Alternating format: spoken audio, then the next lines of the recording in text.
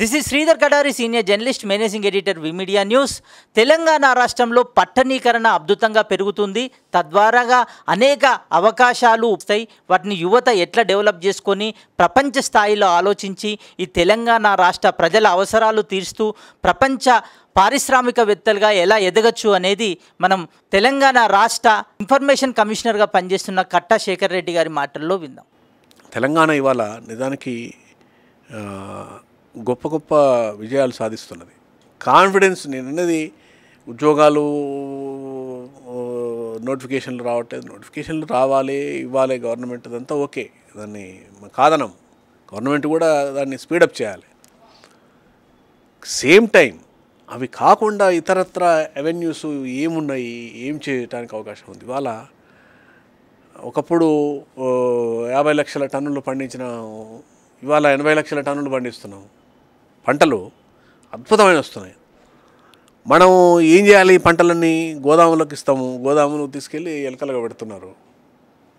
అట్లా కాకుండా అడు మొక్కజొన్నలతోటి మొక్కజొన్న పిండితోటి గోధుమ పిండితోటి ఈ మల్టీనేషనల్ కంపెనీస్ ఇన్ని రకాల తిండి వంటలు.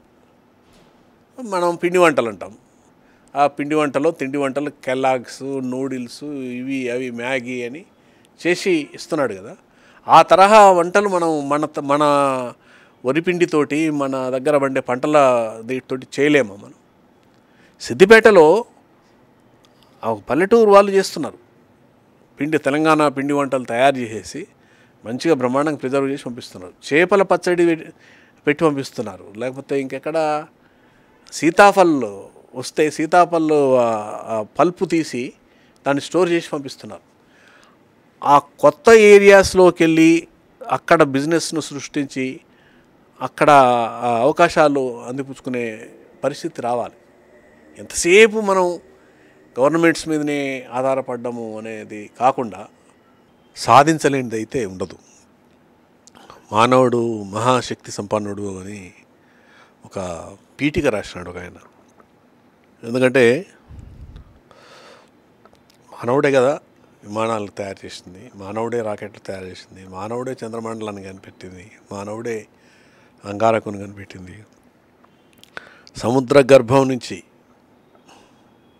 ఆరేడు కిలోమీటర్ల లోతు నుంచి ఒక ఖండం నుంచి ఇంకో ఖండానికి కేబుల్స్ రన్ చేసి వాళ్ళ ఇంటర్నెట్ అనేదాన్ని నడిపిస్తా. ట్యూబ్ వేస్ రోడ్ వేస్ లాగా ట్యూబ్ వేస్. సముద్రంలో ట్యూబ్స్ ద్వారా వెహికల్స్ ప్రయాణం చేయించే పద్ధతిని కనిపెట్టినారు భూగర్భం నుంచి కూడా ప్రయాణం చేయొచ్చు. జలాంతర్గాములు పడవల సంగతి వదిలిపెట్టేసేయండి. ట్యూబుల ద్వారా రోడ్లు. అంటే మనిషి మేధస్సు కొన్ని వందల వేల కంప్యూటర్ల మించిన శక్తి కలిగినది దీని దీనికి ఎంత మనం ఆ దాన్ని తీసుకుంటే అంత ఇస్తుంది. సిపియు మన సిపియు ఇది. దాని ర్యాము దాని స్టోరేజ్ కెపాసిటీ అపారం. అందుకని చాలా పరిమితుల్లో ఆలోచించొద్దు. సమాజము ఈ యువత ఈ తరం యువత ఇంకా విస్తృతంగా ఆలోచించాలి.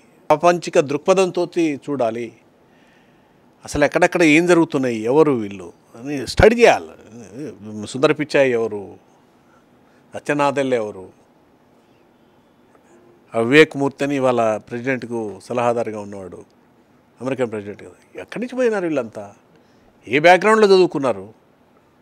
వై నాట్ వై అంతా ఇట్లా ఈ- ఈ మట్టిలోంచి వచ్చిన వాళ్ళే కదా. వాళ్ళేమి రే బంగారు స్పూన్ తోటి వచ్చిన వాళ్ళు కాదు ఎవరు కూడా. సాధారణం ఉన్న పనులు సమకూరు ధరల్లోన యువత తలుచుకుంటే ఏదైనా చేయొచ్చు చేయగలరు.